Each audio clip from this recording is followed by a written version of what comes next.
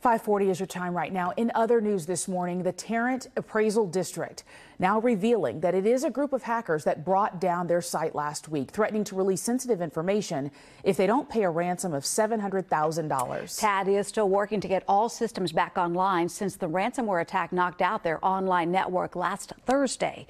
NBC5's Alanna Quillen is with us now to, with the details of what we know at this point. Alanna, good morning. Good morning. Yeah, there's a lot of concerns about taxpayer information falling into the wrong hands. At this point, TAD officials still aren't aware if any information has been compromised, but an emergency meeting was held last night by the board of directors where they revealed some new insight into this ransomware attack that took down TAD's network last week. They say the FBI is now investigating, and while the hackers have not identified themselves, it is believed the hacking group Medusa might be behind the attack.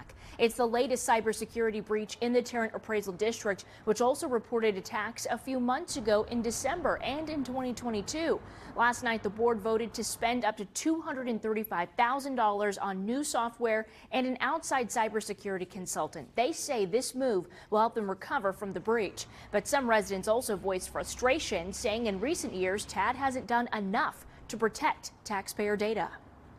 There's been previous intrusions of bad actors, and the previous administration would just put them underneath the carpet and move on. We know there are a lot of other issues we need to address in the future to, to really get us where we need to be, but these are what we deemed as being immediate needs uh, to move us in the right direction.